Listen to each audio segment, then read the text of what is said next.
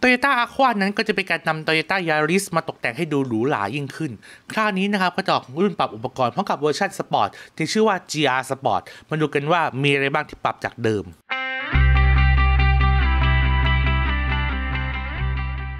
งานดีไซน์ภายนอกนะครับ ถ้าเกิดว่าใครเจอไฟหน้าแบบนี้หลายคนอย่าเพิ่งตกใจนะ เพราะว่ามันไม่ใช่รุ่นท็อปนะครับ ไฟหน้าก็เลยเป็นแบบ LED ปกติ ส่วนจุดตกแต่งอื่นๆนะครับ ก็จะมาพร้อมกับกันชนหน้านะครับ ที่มีเส้นที่ตกแต่งจากซ้ายไปขวาเลยพร้อมกับช่องดักลม รวมถึงตรงกลางนะครับ ก็จะทำเป็นแบบลายตาข่ายอีกด้วย ส่วนกระจังหน้านะครับ ก็ตกแต่งในสไตล์แบบเดียวกับ GR Yaris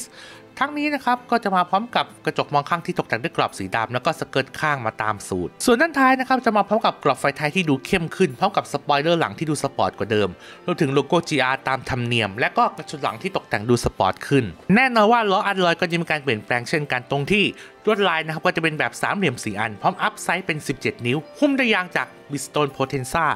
นอกจากนี้นะครับก็จะมีการตกแต่งคาลิเปอร์เบรกสีแดงเพื่อความขลังอีกด้วย ส่วนภายในนะครับก็จะมีการตกแต่งด้วยสีเทาเข้มพร้อมกับหุ้มด้วยวัสดุนุ่มนะครับที่เป็นแบบผ้าทั้งแผงประตู และก็แผงแดชบอร์ดด้านหน้าสีดำส่วนพวงมาลัยนะครับยังคงรูปทรงเดิมเพิ่มเติมก็คือว่าโลโก้ GR Sport บริเวณด้านล่างและตกแต่งด้วยสีเข้ม ซึ่งโลโก้ GR Sport นั้นไม่แน่ใจเหมือนกันว่าจะใหญ่สะใจเหมือนกับ CHR บ้านเราหรือเปล่า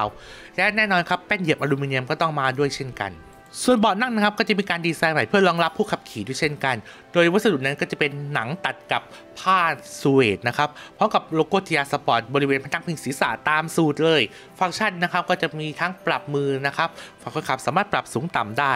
และกุญแจนะครับก็จะมีโลโก้ GR มาด้วยนะครับ เรียกได้เลยว่าสิ่งที่เห็นด้วยตาทั้งภายนอกภายในก็จะมีเพียงประมาณนี้ และแน่นอนว่าเพื่อไม่ให้เสียชื่อ GR นะครับจะมีการอัปเกรดช่วงล่างกันขนานใหญ่พร้อมกับปรับจุดยึดต่างๆนะครับให้ขับขี่มันยิ่งขึ้น เรียกได้เลยว่าแม้ว่าดีไซน์จะเป็นยังไง แต่การขับขี่นั้นต้องมีมาตรฐาน GR ไว้ก่อน ส่วนสีตัวถังนะครับก็จะมี 3 สีใหม่เข้ามาก็คือสีเทา gray metallic นะครับก็จะเป็นแบบเทาเข้ม พร้อมสีขาวกับสีแดงนะครับก็จะมีเวอร์ชันหลังคาสีเทามาให้อีกเช่นกันสำหรับรุ่น GR โดยเฉพาะ แต่สีอื่นมีก็มีให้เลือกอีกเช่นกันนะครับ ซึ่งจะเหมือนกับเวอร์ชันปกติเลย ส่วนรุ่นปกตินะครับก็จะมีการเปลี่ยนแปลงที่สีเป็นหลักนะครับ ทั้งสีตัวถังนะครับก็จะมีการเพิ่มสีส้ม Pop Orange Crystal Shine นะครับ ซึ่งก็จะเหมือนกับของ Lexus NX และ RC ในตอนนั้น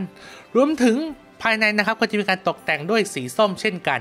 ทั้งแผงแดชบอร์ดแล้วก็จะมีลายตะเข็บ รวมถึงเบาะนั่งด้วยนะครับ เรียกได้ว่าใครชอบสีส้มนะครับก็ไม่ควรพลาดเลยนะ นอกจากนี้นะครับสีทูโทนนะครับก็ยังมีเพิ่มอีก 4 เฉดใหม่นะครับก็คือสีทอง สีครีม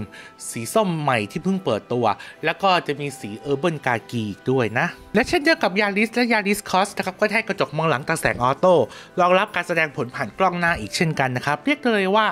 งานนี้นะครับออปชันนี้ก็จะเผยแพร่ให้กับรถ compact car แทบทุกรุ่นเลย แต่ต้องเป็นโตโยต้าแท้นะ เพราะโตโยต้าฝั่งจากไดฮัตสุนี่ก็แทบไม่มีรุ่นไหนให้มาเลยนะ ในญี่ปุ่นอย่างไรก็ตามนะครับ ทุกรุ่นมาพร้อมกับขุมพลังเบนซิน 1.5 ลิตร 3 สูบเดน a มิกฟอสพร้อมกับระบบไฮบริดนะครับกำลังเครื่องยนต์จะอยู่ที่ 91 แรงม้า แรงบิด 120 นิวตันเมตร ส่วนมอเตอร์ไฟฟ้าด้านหน้าจะมีกำลัง 80 แรงม้า แรงบิด 141 นิวตันเมตร และด้านหลังในรุ่น E4 นะครับที่จะมีกำลัง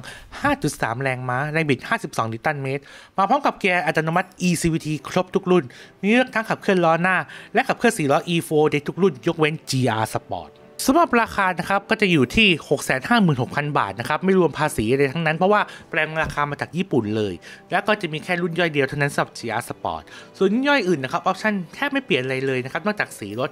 ดังนั้นนะครับราคาก็จะใกล้เคียงกับของเดิมอยู่อย่างไรก็ตามนะครับแท็กแค่รู้สึกว่าข้อมูลนั้นมันน้อยไปหรือเปล่า เราได้ทำข้อมูลเกี่ยวกับ Toyota Aqua แบบเต็มรูปแบบไปแล้วนะครับ ซึ่งจะ